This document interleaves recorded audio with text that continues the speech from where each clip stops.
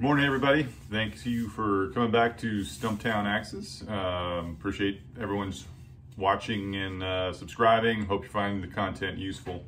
Uh, today, I'm going to do some handle repair. I have uh, uh, two handles I was doing for a customer and found this little crack in the bottom of it and I'm going to show you how I'm going to sort of repair that. Um, I'm going to see if the customer still wants it as is um, but it might be useful for you guys as you're finding your own stuff cracks or maybe vintage pieces that you want to repair that still want to be used um, and how I'm going to repair that. I'm going to use a the the dowel method. So I'm going to use a I'm going to drill a hole. I'm going to use this piece of oak and I'm going to come through it essentially like that or I might even do that undecided at this point. But um, yeah, I'm gonna show you how to walk you through how to do that because uh, I wanna save this handle. Um, I think it'll still be useful. It's a great grain, nice and straight. Got a little tiny kink here, but you know, there's still plenty of grains that are running all the way through. Um, but yeah, I don't think we need to scrap it. Yeah, I think it'll still have a long life ahead of it. So hopefully I'll be able to film it. Hopefully I'll stay in the wide format. So I'm not doing the uh, the Instagram uh, uh, type video. So hopefully I remember to film it correctly and I'll show you how to do it. All right, stay tuned. All right, the tools I'm going to use uh, for this project. I'm going to start off once I find my spot and kind of the direction I'm going to go. I'm going to give it a little punch just to have something for this little pilot um, to drill in. Uh, I'm using quarter quarter inch oak to go here. So this is like a, God, I think this is like 330 seconds. And then of course, uh, my, uh, my quarter uh, right there. We're gonna use wood glue. Um, and then you're gonna need something to trim it with. Uh, I got my drill and that should cover just about everything. Um, yeah, and let's get going. So I'm just gonna put my punch in here. And this is just to give a good little groove to uh, the smaller drill bit for my pilot hole uh, to have something to, to bite into um, to go from a start. All right, next I'm getting my drill. I'm gonna do my pilot hole. trying to focus on the angle where it's coming through um, to make that good pilot.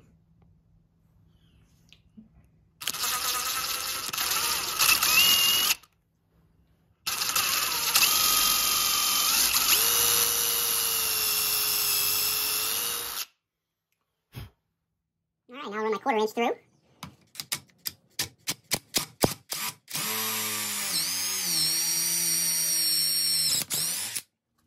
All right, here we go. Boom, nice hole there. Uh, in hindsight, I probably wouldn't finish this handle as much as I have. I would uh, do it with a little bit more shaping left to do so you have like a little bit extra meat. This still needs some slimming, so I'm not too bad off here. I'll have to fix this, some of this cosmetic kind of stuff. Um, but catch it earlier. If you're gonna do this, uh, catch it earlier, but you know, this is a good example. Like if you do get a vintage handle, it has a small crack, and you still plan on using it, that uh, you know, you can still do it like this. So next, uh, we'll get our, our dowel prepped. All right, pretty straightforward stuff here spread glue on down. And make sure you're getting in those little notches there. So I don't know if I covered that, um, but I made a, a, couple little notches just for some glue to kind of sit in when it's in, in the inside. And uh, you don't have to run this thing on the drill. I'm, uh, I'm probably going to just to, because uh, it's fun and it's quick, but uh, you don't have to. So you can just obviously like kind of just tap it in as well. All right, we're going dowel number two. This is dowel number one. I probably should not have used my impact drill uh, to get that in there. So, dowel number two, we're to tap in. Why not? We're all learning.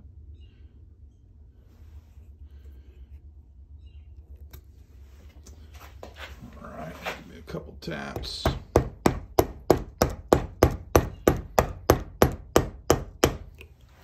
Oh yeah. All right. All right, there we go. Got our dowel in now. Um, you wanna make sure you wipe off as much uh, of the excess stuff, just left to, to clean up. Uh, but you can see, there's our crack and there's our dowel. It's gonna prevent that from opening up anymore. Um, it's not open now, but uh, a good preventive measure and you can save a good handle. Uh, I'll come back, um, let this dry for a day. I'll come back and trim, um, probably show you a finished product too, um, just to, so you can see kind of where this goes. And um, yeah, talk to you soon. Hey, and we're back. So we got this all nice and dry. Now we're just gonna trim it up and shape it down, to kind of sand it out, and we'll see what we got.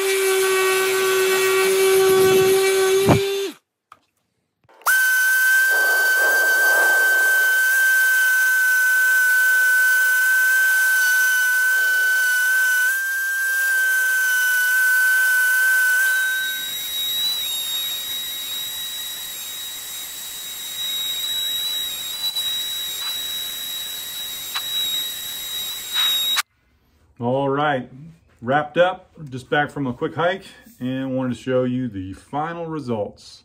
So even if you're coming across this way, you can't even start to see it. You don't see it until you see the different color wood.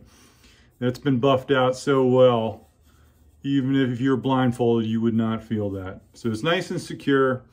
Uh, we've stabilized this crack now. Hopefully it's not gonna get any bigger. Um, should be good. I'll probably actually give it a couple whacks with a hammer. But this is a good fix. It's a good thing to have on backup.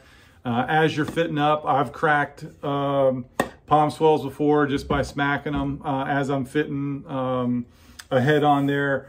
And you know, sometimes you just have a great piece of wood and you just don't want to, you don't want to trash it.